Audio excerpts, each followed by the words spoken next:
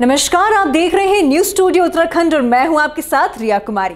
चुनावी माहौल में जहाँ सभी प्रत्याशी प्रचार प्रसार में लगे हैं, वहीं खटीमा से आम आदमी प्रत्याशी एस एस कलेर ने घर घर जाकर जनता से जनसंपर्क किया।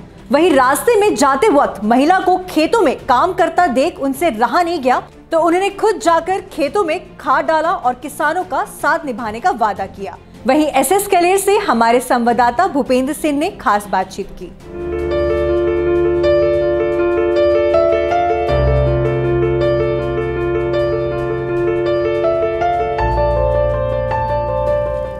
नमस्कार, आप देख रहे हैं न्यूज़ स्टूडियो। इस वक्त आम आदमी पार्टी से प्रत्याशी एस एस कलेर जी हमारे साथ हैं। आज बहुत ही अनोखा काम किया एस एस कलेर जी ने।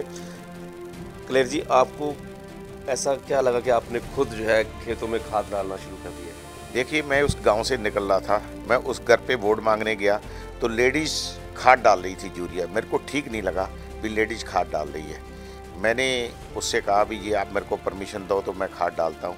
उनको लगा, मेरे को शायद ये काम नहीं करना आता होगा, लेकिन मेरे को खेती से जुड़ा हुआ कोई भी काम, हर खेती, हर तरह की खेती करनी आती है। तो मेरे को महसूस हुआ भी लेडीज़ खाद नहीं डालनी चाहिए थी मतलब पर्वती समाज में था।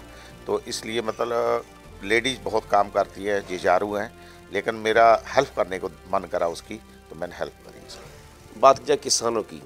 तो आप जनता के बीच में जा रहे हैं तो किसानों का भी एक मुद्दा था, जो कि काफ़ी गर्म रहा। उसके बारे में आप जनता को जागरूक करते हैं किस तरीके से? देखिए, सबसे पहले जैसे ही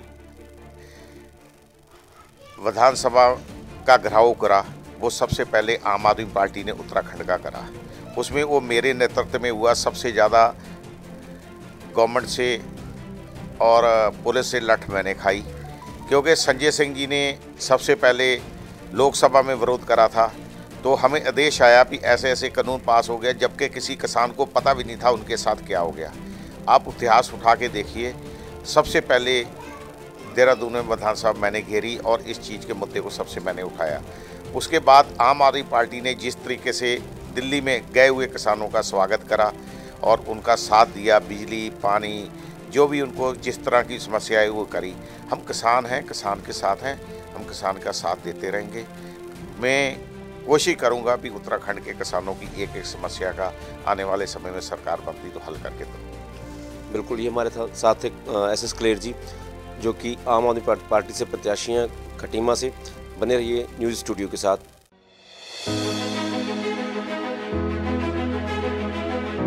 उत्तराखंड के मुद्दे रोज़गार से कामगार तक, पर्यटन से पर्वतों तक, सत्ता के गलियारों से हर गाँव की गलियों तक कर्णधारों की कलम से आम आदमी के हितों तक। और भी होगा बहुत कुछ देवभूमि से जुड़ा, देवभूमि के बारे में देवभूमि के वासियों के साथ, सिर्फ़ न्यूज़ स्टूडियो, उत्तराखंड पर खबर उत्तराखंड की।